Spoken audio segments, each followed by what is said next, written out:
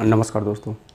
आज की वीडियो में आप पैनल का ये पार्ट टू देखेंगे, क्योंकि पार्ट वन आप लोगों ने देखा और डेढ़ लाख लोगों ने कभी करीब करीब देखे तो इसके लिए आप सभी को बहुत बहुत धन्यवाद कि आप लोगों ने बहुत मन से उसे देखा और कमेंट भी किए तो इसी के बारे में हम आज आपको बताएँगे पैनल के बारे में, कि देखिए सबसे पहले आपको अगर टिकॉन या स्केलर पीसीबी या सोर्स पीसीबी, जो भी आप उसे कहें, यानी पैनल के बाद तो आप उसको समझने से पहले उसके बेसिक को समझना ज़रूरी है, क्योंकि आप उसमें, अगर मान लीजिए इसके पैनल स्ट्रक्चर को आप नहीं जानेंगे तो आपको क्या है कि जब उसमें आप जाएँगे टिकॉन में या सोर्स पीसीबी में तो आप वहाँ पे जो भी आईसी फ़ंक्शन कर रही हैं या जो भी वोल्टेज वहाँ से आउट हो रहे हैं, वो कहाँ पे जा रहे हैं, किस लिए जा रहे हैं, क्योंकि प्रॉब्लम जब हमारा होता है तो ये क्लियर करना पड़ता है कि हमारा प्रॉब्लम यानी फॉल्ट कहाँ से है।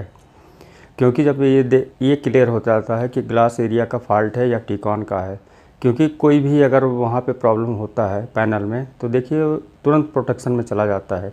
और प्रोटेक्शन में जाने से पहले आपको वहाँ के कंपोनेंट भी फॉल्ट हो सकते हैं। ग्लास एरिया में भी फॉल्ट हो सकता है।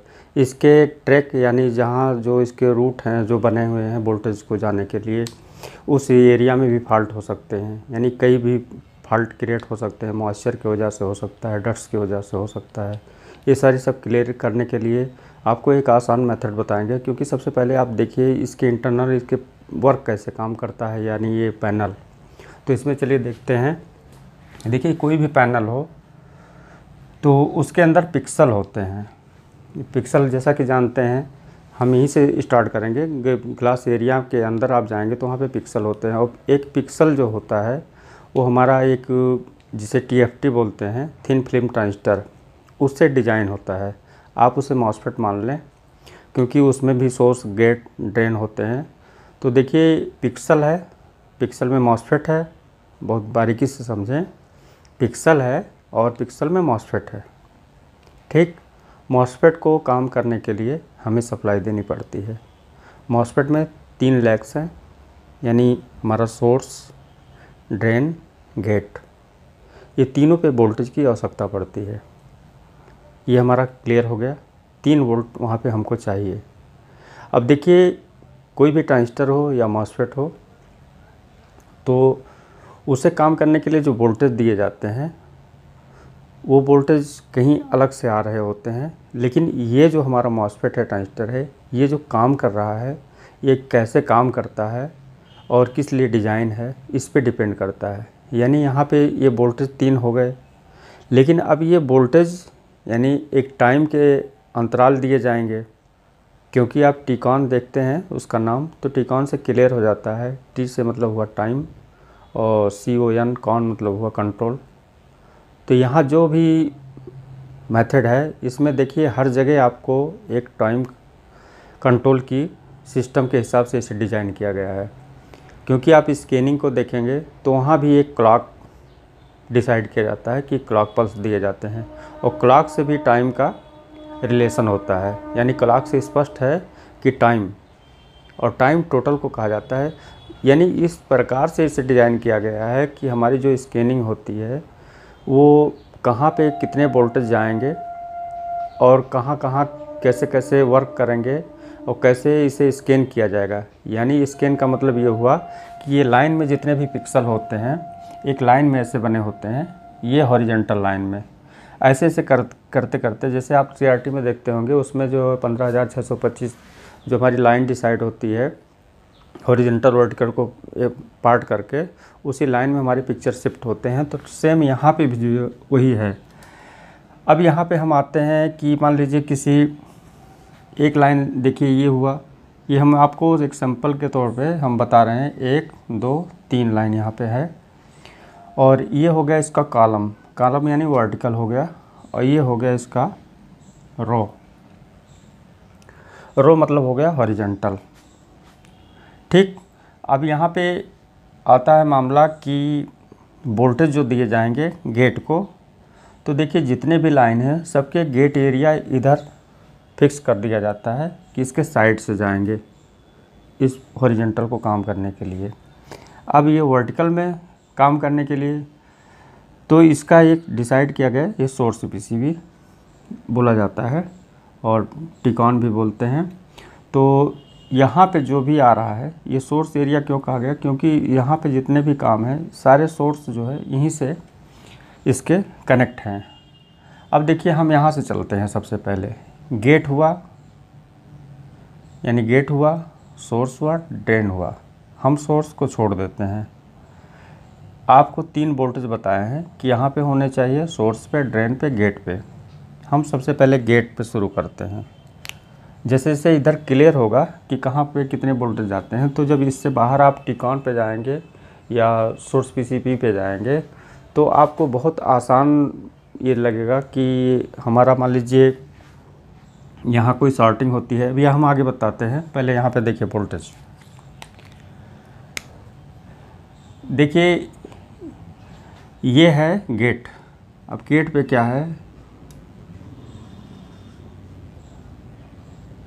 यहाँ पे एक वोल्टेज होने चाहिए, जैसे कि हम बताए हैं आपको कि तीनों पे तीन वोल्ट। लेकिन यहाँ पे क्या है, आपकी जो बेस होगी उसकी बेस बाइसिंग निगेटिव पॉजिटिव से डिसाइड की जाती है और गेट पे जो है, इसके निगेटिव पॉजिटिव दोनों पे होने चाहिए, यानी दोनों होने चाहिए, क्योंकि ऑफ़ करने के लिए नेगेटिव, ऑन करने के लिए पॉजिटिव। अब हम ये हो, एक हो गया यहाँ पे बी जी एच यहाँ पे लो यानी लो और यहाँ पे हाई।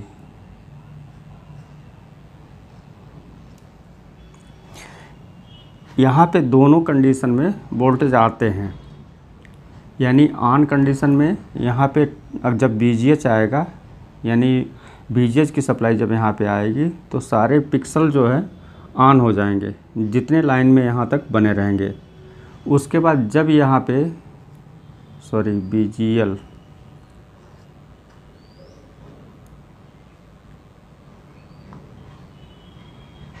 ये वोल्टेज गेट का जो हाई लो होता है, यानी वोल्टेज गेट ये गेट हुआ ना तो यहाँ पे जो लो है तो लो वोल्टेज का इंडिकेशन है, यानी नेगेटिव का, और यहाँ पे जो जी एच है, यानी हाई गेट की हाई वोल्टेज के लिए।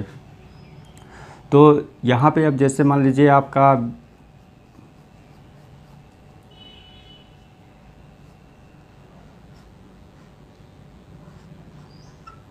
बीजीएच हुआ। अब बी में इस कंडीशन में ये भी ऑन है और ये भी ऑन है और ये भी ऑन हो गया। अब देखिए यहाँ पे सोर्स बचा है और ड्रेन बचा है। अब ड्रेन पे सप्लाई दी जाएगी तो यहाँ पर देखिए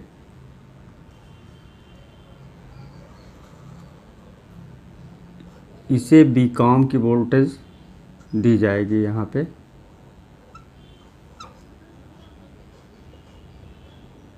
बी कॉम की सप्लाई अब ये जो वोल्टेज है, यानी common common voltage C O M मतलब कॉमन हो गया।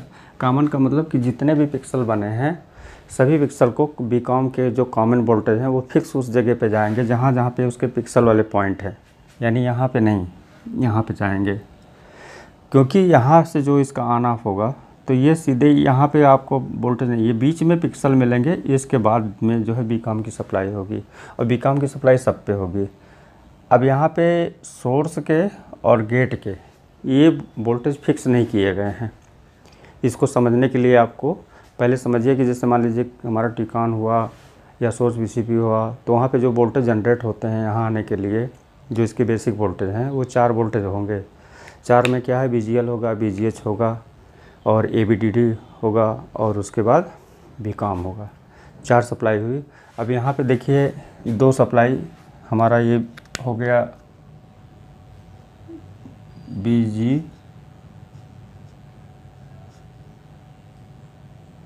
B G L हो गया ये। अब जब बी जी एल यहाँ पर आएगा तो उस कंडीशन में ये ऑफ़ हो जाएँगे।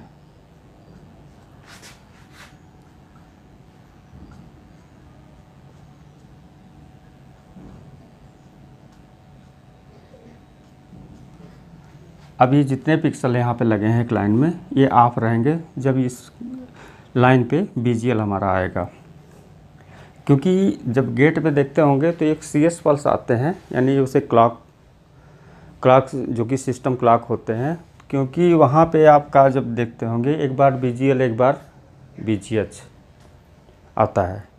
तो वो स्कैनिंग उसी के हिसाब से होता है कि जब यहाँ से यहाँ तक के लाइन जलते हैं तो फिर यहाँ से चेंज होता है। तो उसके बाद जो है फिर यानी इस तरीके से, इस तरीके से ये स्कैन करता हुआ पूरे स्क्रीन को, जितने में स्क्रीन है, जितने इंच का, उसमें स्कैनिंग होती है। इस तरीके से एक बार यहाँ पे आएगा, फिर यहाँ पे रुकने के बाद फिर ये लाइन बनेगी। B G L B G H B G L B G H करते हुए पूरी स्कैनिंग बनेगी। जैसे सेम सी आर टी में आप देखते होंगे, हम और आगे अभी इसके और भी डायग्राम इसी बताकर हम आपको समझाएँगे। अब देखिए, इस समय क्या है कि जब बीजीएल है तो ये सारे पिक्सल ऑफ़ हैं। अब इस समय बी है तो सारे पिक्सल ऑन हैं। अब यहाँ पे देखिए, जो हमारा फॉल्ट आता है, अभी हम सोर्स पे नहीं चल रहे हैं। यहाँ पे भी डिफरेंस होते हैं वोल्टेज क्योंकि आप देखते होंगे क्रिस्टल तो क्रिस्टल क्या है कि उसमें जो हमारा ये यहाँ पे जो सिग्नल देखते होंगे, उसमें आठ जी हमारा आउट होता है। तो ये जब वहाँ से कन्वर्ट होके आर एस डी एस के रूप में कन्वर्ट होता है और सोर्स में आता है तो ये क्या है कि आपका जो पैनल का क्रिस्टल होता है तो उसमें देखिए ये इस तरीके से इसके इंडिकेशन भी बने होते हैं कि ऐसे पियर के रूप में। तो पियर में क्या है कि ऐसे कटेगा, ऐसे इस तरीके से, ऐसे, फिर यहाँ पे ऐसे होगा, फिर ऐसे कटेगा, फिर ऐसे होगा।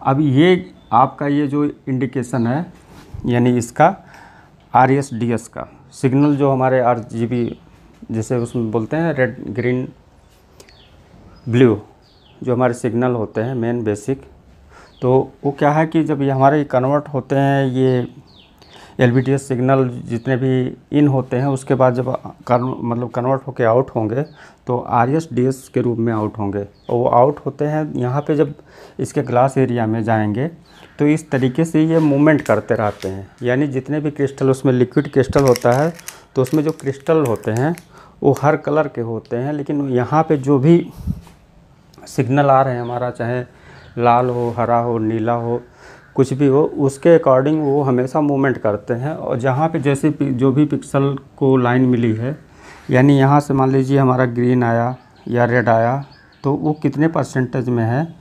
तो जहाँ पे ये डिसाइड करता है कि हमारी जो एरिया है, यानी पिक्सल को ग्लो करने का तो अगर यहाँ पे बंद रहेगा तो उस एरिया में ब्लैक हो जाएगा। और जब ऑन रहेगा तो उस एरिया में ग्लोइंग होगा। तो ये सिग्नल जो है उसी लिक्विड में क्रिस्टल, यानी क्रिस्टल में जो छोटे छोटे कण होते हैं, वो जितने कण यहाँ पे एक्टिव होंगे, यानी जो सिग्नल यहाँ हमारे मदरबोर्ड से आ रहा है, उतने सिग्नल वो तेज़ी से फ्लो होंगे ऊपर की तरफ़।